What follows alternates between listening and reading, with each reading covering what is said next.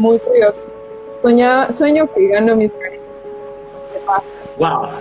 Lo sueño, lo sueño. Pero hace como dos semanas tenía algo muy eh, como te comenté, tenía como 12 años cuando participé por primera vez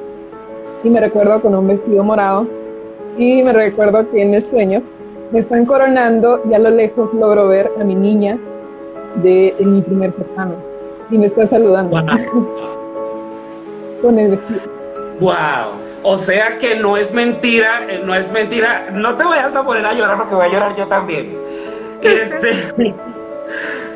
Wow, entonces eh, no sé si todo lo que yo estoy sintiendo en estos momentos, que incluso mucha gente dice que estoy emocionado con, con la conversación contigo, porque es verdad, he visto tantas María José en esta conversación que todas me vienen a flote y me dicen, yo estoy aquí, habla de mí también, y qué rico que nos compartas ese sueño,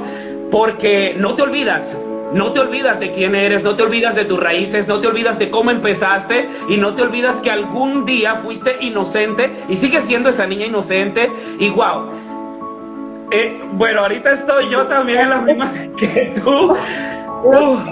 qué rico, qué rico de verdad que nos hayas expresado este sueño tan divino, el poderte, el visualizar, a pesar de ser una mujer grande, ya una mujer hecha y derecha, que todavía esa niña está allí, este, dándote sus buenas vibras, porque eso es lo que te está transmitiendo, esa imagen que te llegó, que esa niña todavía te dice, estoy contigo y vamos a seguir siendo fuertes por ese, por ese camino que